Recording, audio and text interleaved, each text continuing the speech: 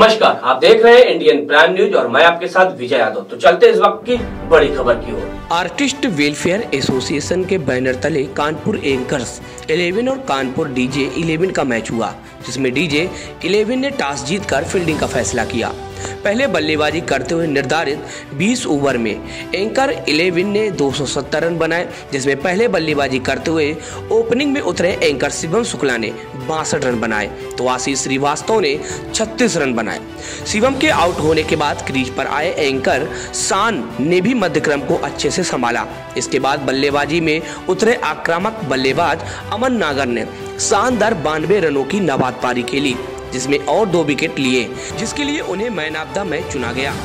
Anchors 11 के कप्तान अनुराग श्रीवास्तव, अन्ना ने शानदार रणनीति के तहत डीजे 11 की पूरी टीम को 100 रन के अंदर ऑल आउट कर दिया, जिसमें डीजे 11 के कप्तान अभिषेक तिवारी ने सबसे ज़्यादा 40 रन बनाए।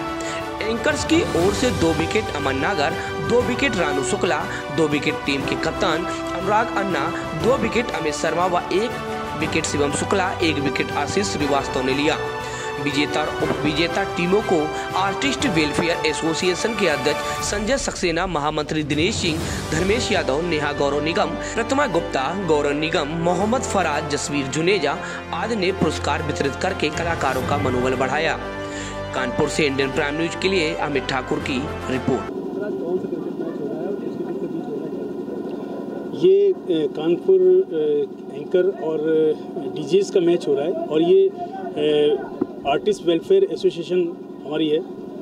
इन, ये हम लोग मिल के करा रहे हैं इस मैच को और आगे भी कई सारे मैच होने हैं। सिंगर्स डीजे का मैच होना है और कोरियोग्राफर्स का मैच होना है। कई सारे मैच होने हैं। तो ये इस सीरीज़ का पहला मैच है ये। आज एंकर्स और डीजे का।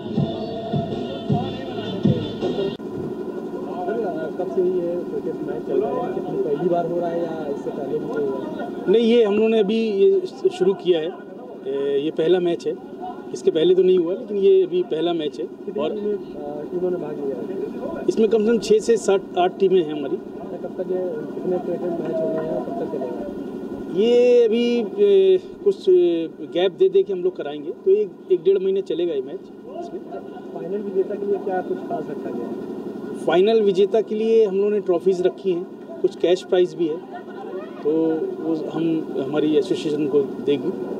एज लिमिट है क्या नहीं एज लिमिट कुछ नहीं है। इसमें जितने हमारे सिर्फ़ आर्टिस्ट लोगों के लिए ही लेकिन इसमें कानपुर के जितने आर्टिस्ट हैं वो इसमें कानपुर में पहली बार इस तरीके के कानपुर में इस तरह पहली बार हो रहा है ये। आज तक ऐसा नहीं हुआ है। तो ये हम लोगों ने मुहिम शुरू करी है। और हमारी एसोसिएशन इस तरह के कार्यक्रम करती रहती है। और ये प्लेयर्स के लिए हम लोगों ने ये मतलब ये गेम्स का हमने पहला किया है और शोज़ वगैरह भी हम लोग कराते रहते हैं। गरीबों के लिए हमने बहुत सारे इवेंट करे हैं इससे पहले।